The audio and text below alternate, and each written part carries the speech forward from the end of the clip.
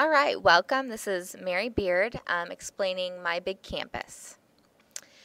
Uh, My Big Campus is a website that is used for a lot of different things, and Pike Township is currently using it to reach out to students in a different way that incorporates technology.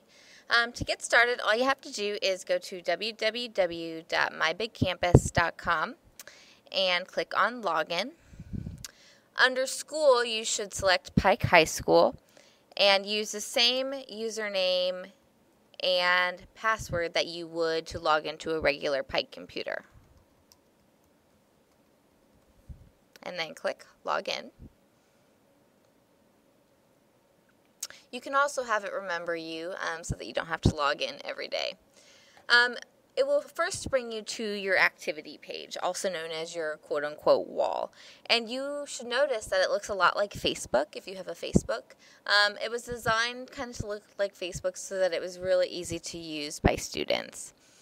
Um, the first thing I want to show you is kind of your is your wall. Um, you can see on my wall I have um, the different things that I've posted, um, other people posting, and blogs that I've subscribed to will pop up here. Um, what pops up on your own wall kind of depends on what groups you subscribe to, and I will get to that in just a minute. Um, to the side on your the left hand side of your screen, you will see groups. Pike Township has already uploaded your classrooms by period, um, and all the students are already in your classes. So I'm going to click on my first period, multicultural foods class. Um, and if I click on the members tab, you can see all my students are already in this class. They have promised to update this every night so that you do not have to add and delete students as your classes change. Um, let's hope they keep that promise. Otherwise, you can create your own groups as well if you want to, but it's pretty convenient to use the groups that have already been set up. Um, under your each of your classrooms, you have an announcements tab. This tab is used to make general announcements to all of the members of your group. Um, so in this case, all the students in my first period multicultural foods class. Um, you can see lately, I try to post one announcement a day, typically with a review of whatever we did that day. Um, for example, yesterday on Tuesday, we did a web quest over Scandinavia. Um, I posted the link to the web quest so that they can do it if they were absent. Um, today, I posted actually a bundle, which I'll get to in a moment, um, that overviews all the materials for our test tomorrow. So it's a great way for students who were not in school to get the same materials as if they were sitting in your classroom. Um, to post an announcement, you just type in this box. There's only 255 characters allowed. Um, you can also post different items out of your stuff. You can see these are the recent things that I have posted, and it remembers the documents that you save so that you don't have to find them in your Dropbox or um, flash drive every time you want to post something. Um, so I'm going to go ahead and talk about schoolwork next. Okay. Um, schoolwork is a tab that you can use to assign quizzes and tests and other assignments to your classes. Um, and the most recent one that I did was a Germany France quiz. So I'm just going to pull this up. Um, you design your quizzes however you want to. Um, mine was just a general quiz. And when you input questions, you can make them multiple choice, fill in the blank, um, true, false. You can have them upload a file, like a, for example, a Word document or a PowerPoint, um, or you can have them even write an essay. Um, multiple choice, multiple select, true, false, and fill in the blank will all grade itself, meaning that you do not need to go in and grade those questions. Um, unfortunately, essays and file uploads do not grade themselves, so you you will have to go in and grade those, and I can show you that quickly as well. Um, so you can see I, I, designed a simple 10 question quiz, uh, for answer choices per question. Um, and after this, you can allow several different options for your quiz. Um, I have it so that they can take it once. Um, and they have 60 minutes to take it. Um, I had them start it last Friday, and it was due the following Wednesday. I typically give them a couple of days to take a quiz that I expect them to do at home because not all students have access to technology. Um, so you should be mindful of the demographics in your own classroom. Um, like I said, I give typically three or four days. A weekend is nice if it fits well with your lesson plans. Um, you can allow them to take it multiple times if you want, um, or give them a longer time limit depending on what you want. But it's important to note that once a student starts a quiz or assignment, they need to submit it, otherwise, it will time out and not allow them to submit it. Um, so you can see here a bunch of my students um, took the quiz, and it shows me when they took it as well. You can pull up a report that will given you in alphabetical order their scores, which allows you to easily input it in the gradebook. You also can see the statistics from each question, so how the different sections of your classes answered each question. And you can kind of, from that, um, see how they're doing in your class, okay, and see where the errors are occurring.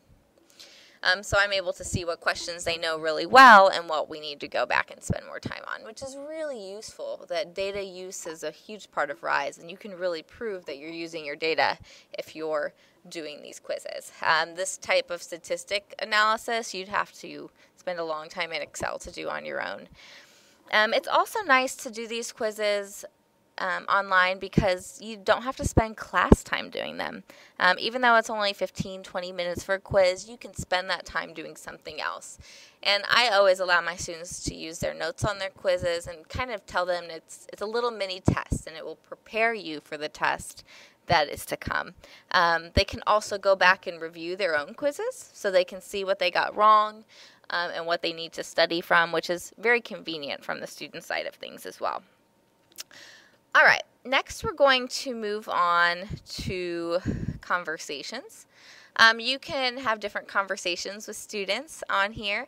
Um, they can talk to each other as well, which is important for you to know as an educator. Um, you can see I had a conversation with a student. Let's see here.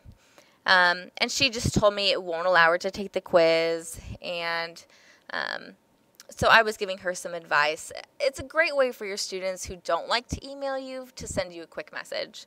Um, for example, if they submitted an assignment and they were absent, I'll have them send me a reminder, or they can send you a picture of a lab that they made up. Um, that way, it's it's just a convenient way for you to communicate outside of school with your students, and it's completely secure and supported by the district, so you don't have to worry about um, breaking any rules um, as far as that goes. Um, lastly, in this short training session, I'm going to talk about bundles. And a bundle is simply a group of different things. And I'm going to show you my bundle that I created on Europe. And I can see I've had 42 views already. Um, this bundle, I do a bundle per unit, and this allows me to group all of my files for particular subjects into one, essentially my big campus link. Um, and I can post the entire bundle for students to look over. Um, you can see in this bundle I've included all the PowerPoints and Prezis and listening guides, um, also recipes from the labs that we've done, um, interesting websites kind of as a supplemental tool. And I also have lately been really trying to promote um, doing the flipped classroom thing. And so I will voice over my PowerPoint using the same tool that I'm using to create this video, which is Screencast-O-Matic. Um, and it will it will voice over and then I'm able to post the video on YouTube and then post it on my big campus in my bundle. So that allows students who were absent on the day that you we did the Germany PowerPoint for example to still get the notes and you can see it plays really easily. It's a YouTube video, so it's accessible even during school hours. They can get on YouTube to view your video um, if they're on my big campus. Um, and the sound is not really good. My sound's turned off.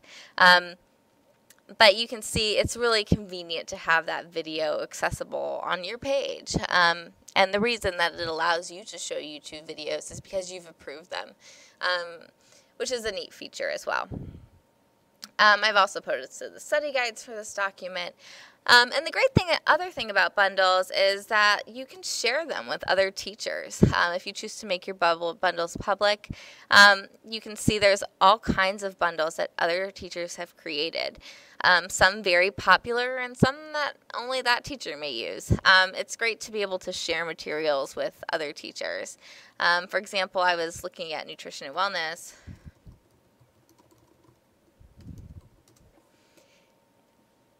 And they only have one that relates. There we go. Let's just type in nutrition. Um, they have all kinds of things about obesity um, and other food resources, which would be great for our classes. Um, this is a very neat bundle, very popular, as well as the obesity one. So, just oh, another way for you to share materials and not have to reinvent the wheel while you are making your own lesson plans. Um, so I'm anytime you click on the My Big Campus thing, it'll take you back to your wall if you haven't noticed that. Um, there's a lot of other features, and as you explore My Big Campus, you'll figure these out. You can also do a calendar. You can run a blog. Um, you can keep all of your documents on My Big Campus. It, one thing you should know about it is it does have unlimited storage, which is huge. Um, even Dropbox and other websites like that have limits of two or three gigabyte, two, three, two or three gigs.